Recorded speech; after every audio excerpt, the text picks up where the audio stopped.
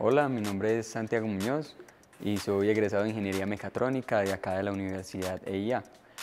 En este momento me encuentro trabajando en un proyecto de investigación, pero además de eso me gusta mucho la lectura y leer acá en mis tiempos libres en la universidad.